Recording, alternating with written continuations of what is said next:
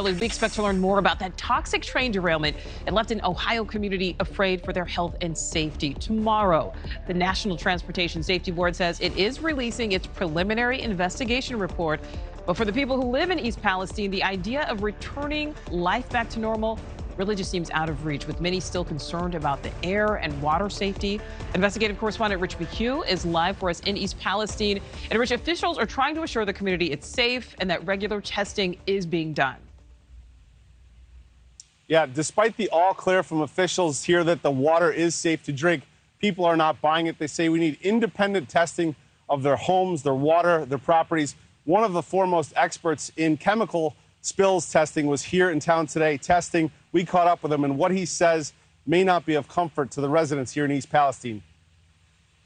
We're going to measure also vinyl chloride, ethyl hexyl acrylate, mm-hmm. isobutylene, and butyl acetates.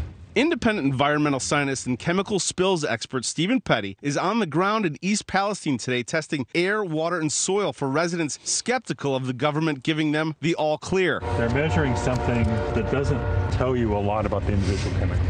It's done because it's easy and quick to do. Mm-hmm. It's not doesn't cost a lot of money. Petty has been an expert witness in dozens of the top environmental class action lawsuits in the U.S. He says he came to Ohio because he believes independent testing is needed. The question is, are there are there organic compounds at low levels that are toxic that are a problem?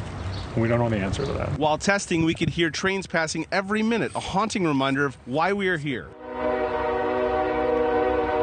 For residents worried about their health and the mixed messages from local and federal government, an independent expert's opinion is welcome. The public can handle negative news. They just want the truth. It's not wrong to tell them we don't know yet. Do you think they're getting the truth here? I don't think they've done enough.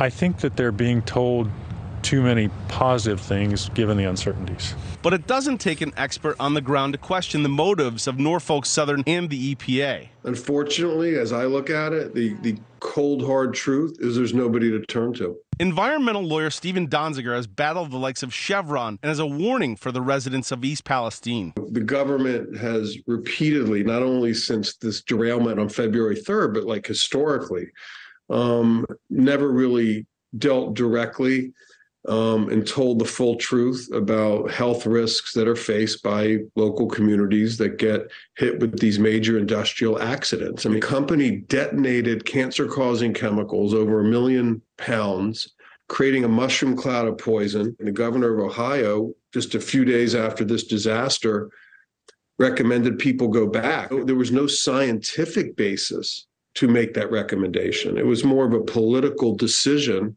to manage the public relations fallout. I don't know what's in the railroad's minds. I, I mean, I don't know what's in their heads, but um, from what I've seen on some of the initial testing, they they haven't necessarily tested for all the things I think we should be testing for, like the dioxins. And they're not testing for those. To my knowledge, they hadn't. Now I don't know if you can see the, the there's pumps behind me. They're running 24 7. They have been indefinitely. They're working to scrub the water clean, and they're not adding to the argument here that everything is safe. Nichole.